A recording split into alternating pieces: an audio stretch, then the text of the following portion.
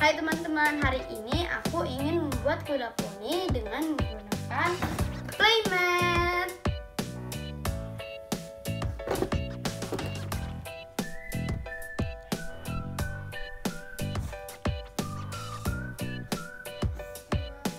Playmat ini seperti mesin bubut teman-teman, tetapi lebih aman. Nah, ini tertulis di sini Kinder Scissor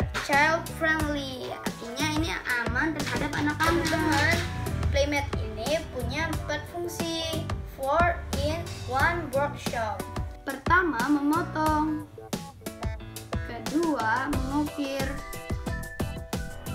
Ketiga, membolongkan tengah seperti membuat roda. Keempat atau yang terakhir yaitu adalah menghaluskan. Dan kalau kalian bermain playmat, pertama yaitu adalah kalian harus memastikan listriknya berjalan dengan baik. Kedua, kalian harus mempunyai pelindung mata. Kalau yang ketiga, kalian perlu memakai masker karena partikel debu kayu ini berbahaya. Pertama-tama kalian harus membuat polanya dulu seperti ini nih. Ayo kita mulai teman-teman.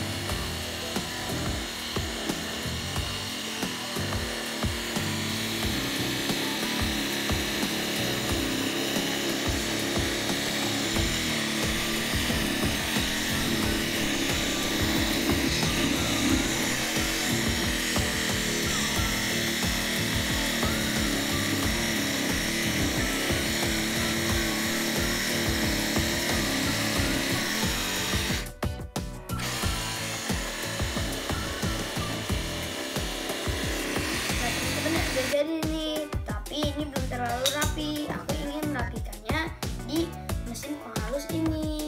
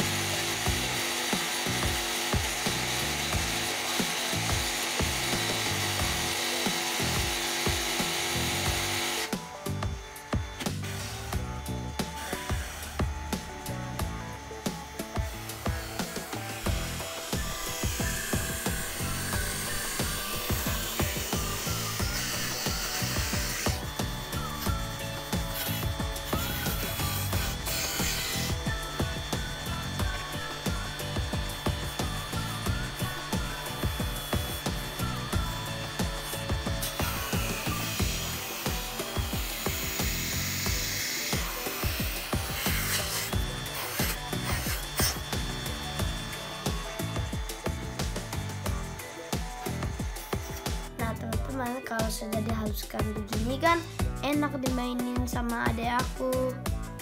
Tidak membuat iritasi dan serpihan kainnya tidak menusuk di tangan. Iya halus Zian ayo teman-teman haluskan. Oke teman-teman udah jadi nih dan siap untuk diberi ke Zalifa ini Zalifa Zalifa itu apa? Kuda ya.